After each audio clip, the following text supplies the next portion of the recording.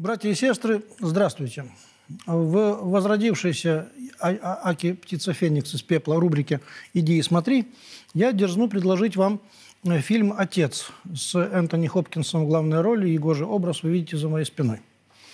Э, помню, когда в Украине еще э, управлял церковью, возглавлял, предстоятелем Украинской православной церкви был блаженной памяти митрополит Владимир Э, и праздновался какой-то юбилей почтенного старца. Он довольно уже был болен тогда, значит, но еще в силах, еще э, занимал свой высокий престол. Было много интересного материала о нем по э, средствам массовой информации. Уважаемый человек и прочее. И в одном из интервью он рассказывал про свое детство, про свою маму, которую он очень любил. Монахи вообще очень любят своих матерей. Это, кстати, надо как-нибудь об этом отдельно поговорить.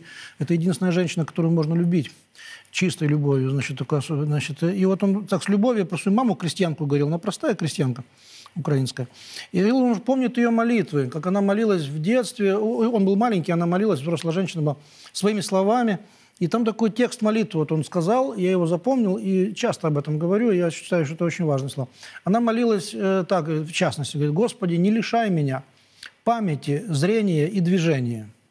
Ну, он говорит, что вот уже с возрастом, сам уже ставший стариком, я понимаю, как это важно, как бы не впасть в деменцию, там, не в склероз какой-нибудь такой затяжной, не потерять память и не, не обездвижиться, не лишиться возможности двигаться, это очень важно, да, и не ослепнуть, не нуждаться в поводыре, в собаке или в палочке, вот это, не простукивать дорогу перед собой.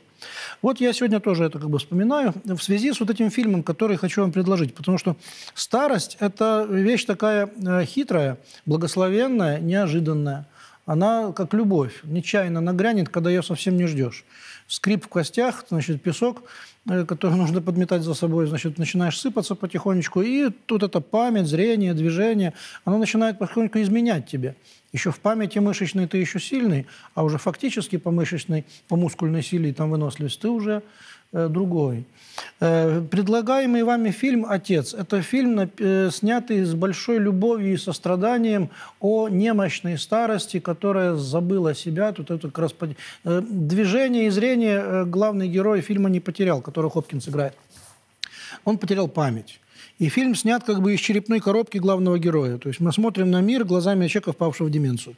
Уникальный фильм. Значит, его автор удивительно, опять-таки, что дебют, авторский дебют в кинематографе э, молодого довольно человека, всего лишь 79 -го года рождения, то есть ему сороковник с небольшим, 42, э, Флориан Зеллер. Он сейчас работает над фильмом «Сын». Э, видимо, это какая-то будет трилогия. Э, отец, сын, внук, может быть, или что. Э, Хопкинс сыграл в этой роли, когда ему было уже 83 года. Он потрясающе, проникновеннейшим образом сыграл старика, будучи сам стариком. Но стариком, конечно, в полной памяти он сумел сострадательно и э, так, ну, слезно, до костей, сыграть человека, который впал в немощь по старости и вообще ничего не понимает, что происходит в жизни. Он не узнает детей, он э, не знает, где он находится, он вспоминает что-то там, и постоянно эта реальность меняется перед ним. Он... В общем, это надо видеть, это трудно пересказывать. Фильм был номинирован на «Оскар» сразу в шести номинациях. Получил шесть «Оскаров». И Хопкинс получил э, «Оскара» за главную роль. И это был первый в истории случай, когда актер в 83 года, таком почтенном уже, ну, смело, смело говорим, старом возрасте, э, получает э, статуэтку. Э, и возвращаемся к этой теме в том смысле, что фильм э, сострадательно учит нас смотреть на э, стариков ну, другими глазами, во-первых, жалея их, а потом думать о своей старости, какая она будет.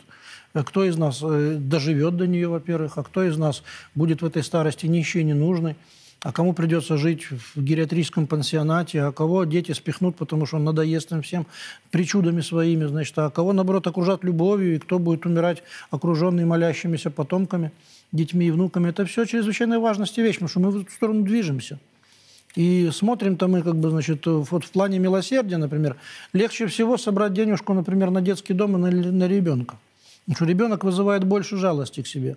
Вот покажите больного ребенка, одинокого ребенка, и будьте уверены, что у людей содрогнется сердце, они с большим желанием отдадут что-нибудь туда, чем в другое место. А на самом деле старость требует э, иногда больше, ну, по крайней мере, не меньше, потому что старость, она сама по себе унижена, независимо от размера пенсии.